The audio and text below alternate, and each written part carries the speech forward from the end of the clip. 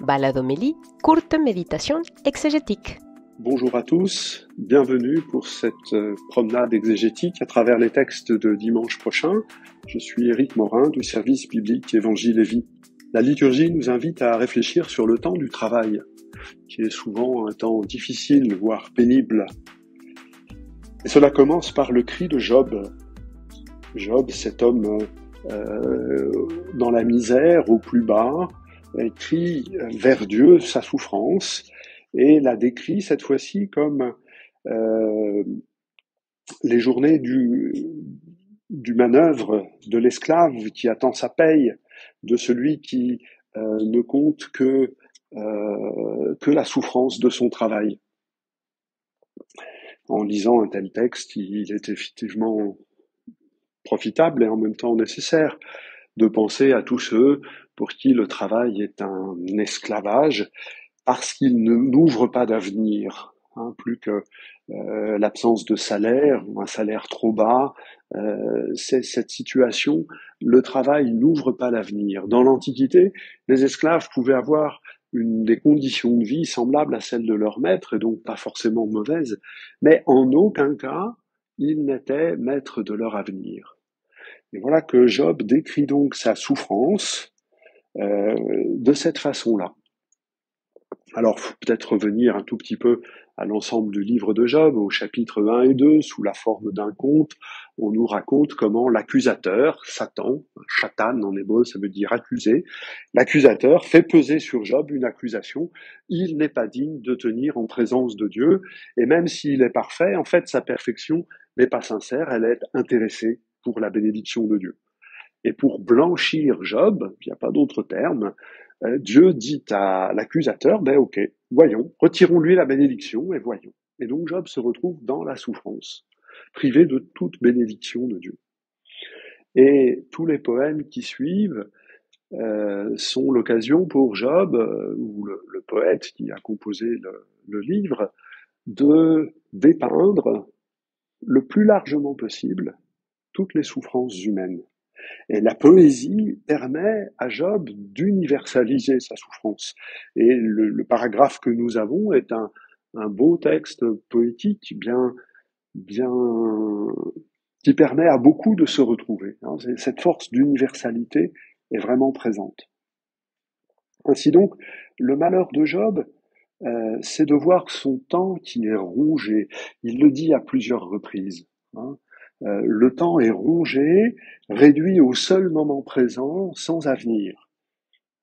Euh, la journée, le temps passe euh, lentement, trop vite, ou enfin voilà, on n'arrive plus à habiter la journée et les nuits sont ou trop courtes ou trop longues selon les situations.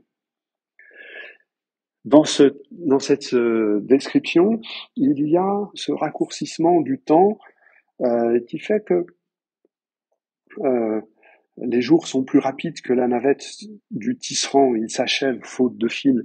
Euh, pensez à, à ce qui peut nous arriver tous et chacun. On se dit ah bah tiens ce soir je vais pouvoir parce que la journée de travail est un peu compliquée. Et puis quand on n'est plus satisfait de de ce rythme quotidien, on dit ah bah vivement la fin de la semaine on aura le week-end. Et puis parfois le week-end est encore pas suffisant. Alors euh, vivement euh, les prochaines vacances. Et vous voyez que notre espérance nous invite à, reporter de plus en plus loin un temps euh, qui sera profitable, dont on pourra profiter.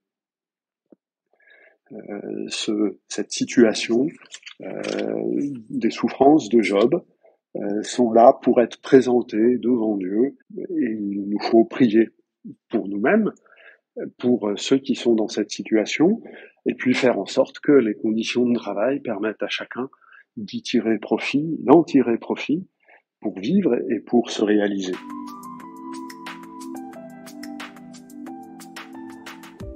On reste avec la deuxième lecture dans l'orbitre du travail.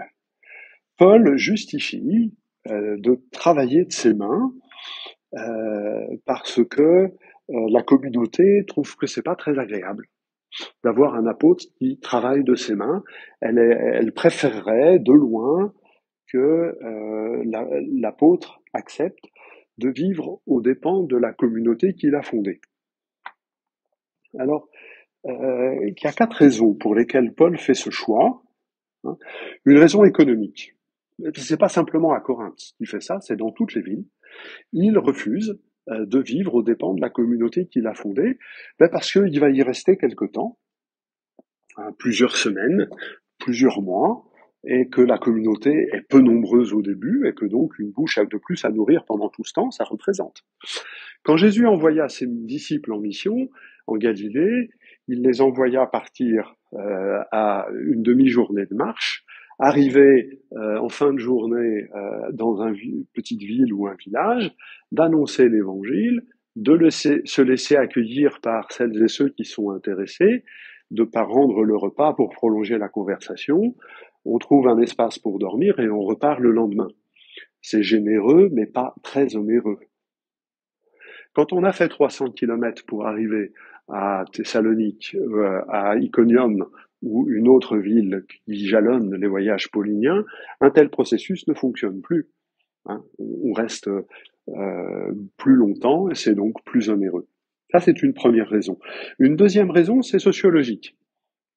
Déjà, euh, on accusait les prédicateurs itinérants de vivre aux dépens de ceux qui les écoutent. Et donc Paul ne veut pas rentrer dans ce jeu-là.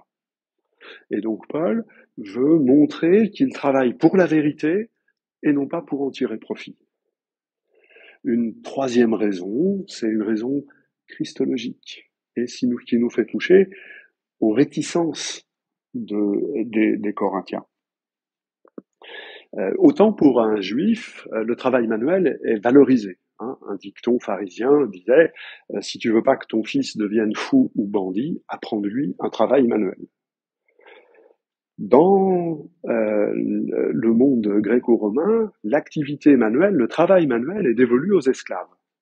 Or, Paul euh, travaillait comme euh, tisserand hein, dans les ateliers de tisserand, dans les villes où il trouvait du travail. Et donc, pour les Corinthiens, avoir un apôtre qui exerce cette activité professionnelle, ben, c'était pas valorisant parce que en annonçant leur foi nouvelle, ah, qui vous a enseigné ça? Ah ben c'est euh, Paul qui travaille à l'atelier de Priscille et Aquila. Comment ça? Vous écoutez ce que vous enseigne un esclave? Et donc, bien que citoyen romain, Paul acceptait de prendre le niveau social d'un esclave. Et pour lui, il le dit à quelques endroits, c'est déjà rentrer dans ce mouvement par lequel le Christ, lui qui était de condition divine, a pris la condition d'esclave.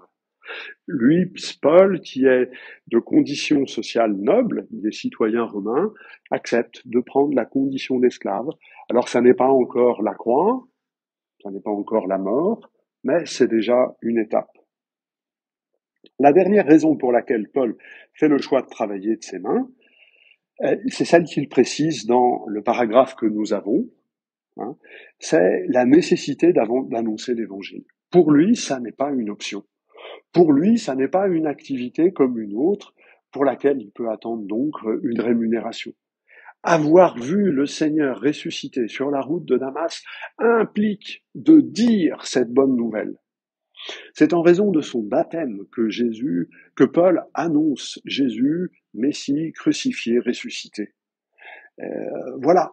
C'est, il peut pas s'en dérober. Malheur à moi si j'annonçais pas l'évangile, parce que ce serait d'une certaine façon renier euh, la grâce qui a été faite lors de cette apparition du ressuscité. Alors, euh, il euh, va jouer un tout petit peu sur, sur les mots en disant quelle est ma récompense d'annoncer l'évangile eh ben, Ma récompense, c'est de vivre l'évangile et de le donner gratuitement. Voilà, ça a dû un peu énerver les Corinthiens, mais les relations entre Paul et l'apôtre est quelque chose de compliqué et complexe.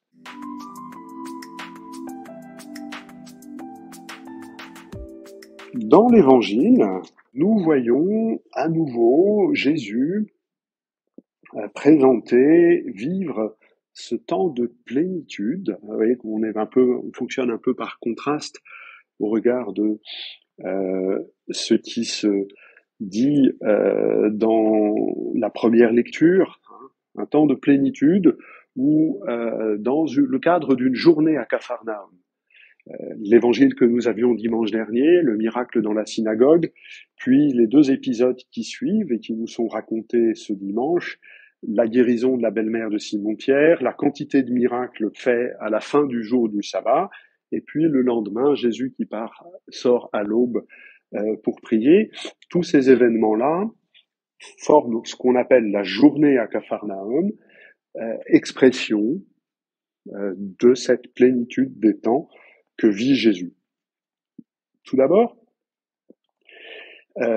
il offre par cette plénitude la libération des esprits impurs et des démons.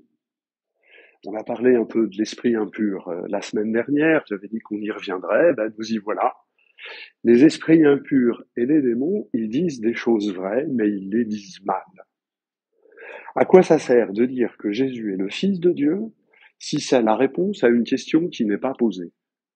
À quoi ça sert de dire que Jésus est le Fils de Dieu si ça n'est pas pour confesser de quel amour nous sommes aimés pour euh, en voyant Jésus, Messie, ressuscité, crucifié?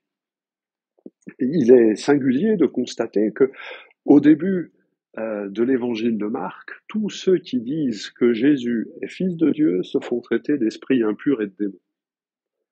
Encore une fois, pas parce qu'ils disent faux, mais parce qu'ils disent mal. Le seul, les deux, il y a deux seules personnes qui disent bien que Jésus est fils de Dieu. Le deuxième, c'est le centurion romain au pied de la croix. Voilà, c'est là le lieu où nous pouvons en plénitude dire que Jésus est fils de Dieu. Parce que c'est la réponse à un amour donné. Et la première personne qui dit que Jésus est fils de Dieu, c'est le Père dans l'épisode du baptême. Tu es mon fils bien-aimé. Et nous ne pouvons dire cela qu'en étant témoins de la parole que le Père adresse au Fils. Le reste, c'est esprit impur, faux souffle ou démon. Alors le mot démon ne doit pas nous faire penser à des êtres ceci. Le mot grec euh, démon, c'est pour dire euh, toute forme euh, de puissance à laquelle on ne rend pas de culte. Les démons ne sont pas vénérés comme des faux dieux. Tout, un démon, c'est une puissance qui ne permet pas d'être soi-même, une force qui nous désapproprie de nous-mêmes. Alors pour illustrer ça, pensez à l'expression euh, les vieux démons. Quand on dit de quelqu'un, il est retourné à ses vieux démons.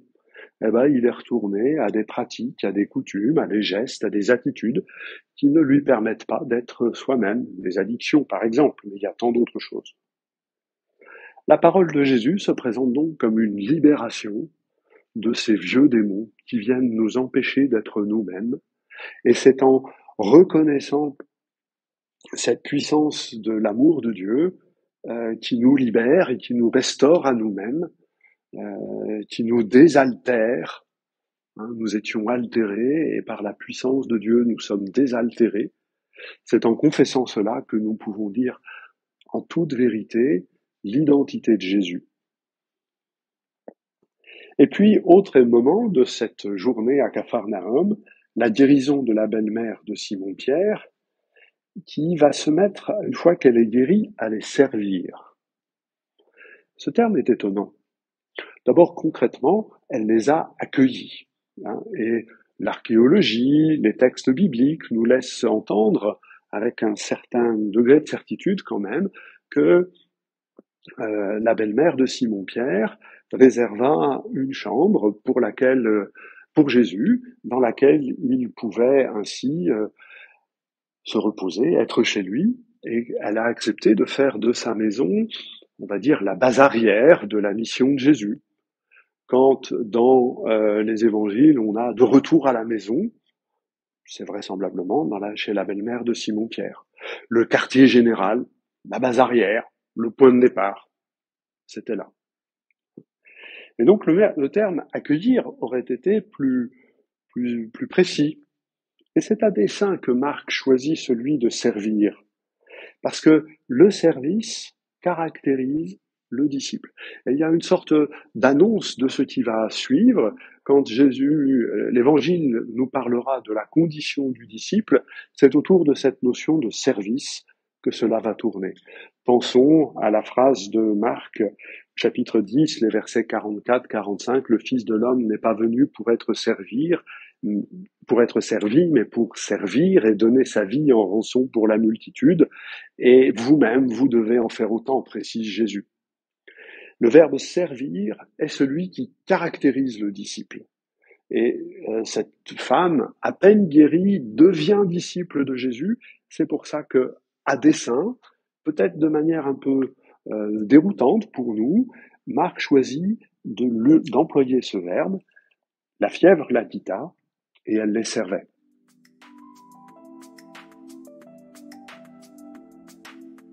Voilà quelques éléments de réflexion. Je vous souhaite une bonne semaine et une bonne célébration dimanche prochain.